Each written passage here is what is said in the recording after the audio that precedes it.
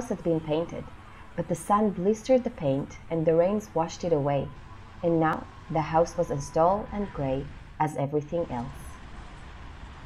The cyclone had set the house very gently for a cyclone, in the midst of a country of marvelous beauty. There were lovely patches of greensward all around, with stately trees bearing rich and luscious fruits. Banks of gorgeous flowers were on every hand, and birds with rare and brilliant plumage sang and fluttered in the trees and bushes. Even the grass was not green, for the sun had burned the.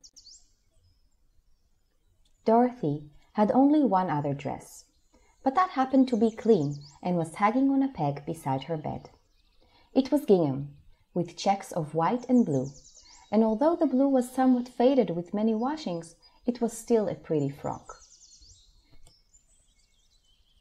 It was Toto that made Dorothy laugh and saved her from growing as gray as her other surroundings. Toto was not gray. He was a little black dog with long silky hair and small black eyes that twinkled merrily on either side of his funny wee nose. Toto played all day long, and Dorothy played with him and loved him dearly.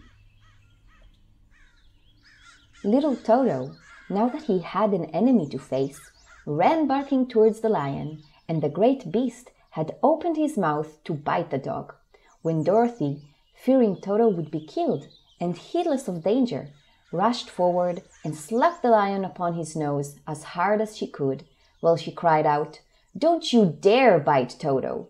You ought to be a Even the grass was not green, for the sun had burned the tops of the long blades until they were same gray color to be seen everywhere.